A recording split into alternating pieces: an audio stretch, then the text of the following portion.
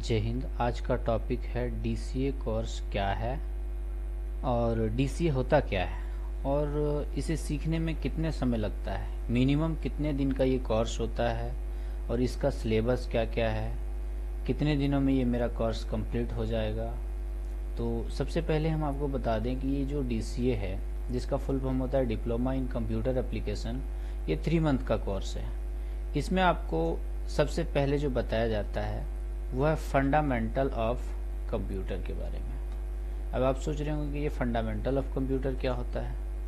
Computer के basic जानकारी आपको दिया जाएगा। यहाँ पे देखिए लिखा हुआ है फंडामेंटल ऑफ़ कंप्यूटर बेसिक जानकारी आपको दिया जाएगा कि कंप्यूटर होता क्या है इसके बारे में। बेसिक जानकारी के बाद आपको बताया जाएगा विंडोज़ सेटिंग विंडोज़ को सेटिंग कैसे किया जाता है? अगर आप कौन सा विंडो यूज़ कर रहे हैं, ये विंडोज़ सेटिंग आपका देखिए यहाँ पे दिखा रहा होगा। विंडोज़ सेटिंग हम आपको बताते हैं। ये जैसे कि वॉलपेपर चेंज करना हो गया डेट एंड टाइम चेंज करना हो गया स्क्रीन सेवर चेंज करना हो गया, इसमें आपको विंडोज़ सेटिंग बताया जाएगा।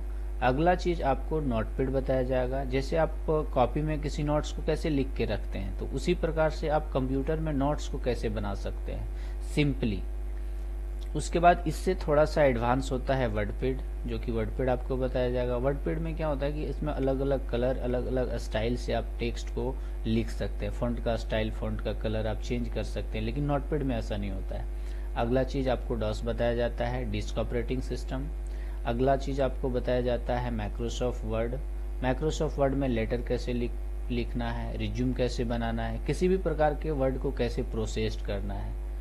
अगला आपको बताया जाता है एम एस एक्सल एक्सल में स्पायरेड सीट कैसे बनाना है चार्ट कैसे बनाना है ग्राफ कैसे बनाना है, इन सारी चीज़ों के बारे में आपको एम एस एक्सल में बताया जाता है।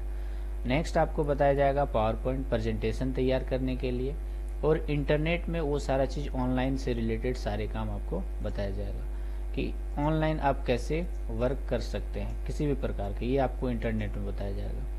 इसे कंप्लीट करने में आपको टोटल थ्री मंथ लगता है? तीन महीने का ड्यूरेशन होता है और तीन महीने में आपका सिलेबस कंप्लीट हो जाएगा। पर डे एक घंटे का क्लास रहेगा पर डे वन आवर का क्लास वन आवर के क्लास में आपका सिलेबस कंप्लीट हो जाता है।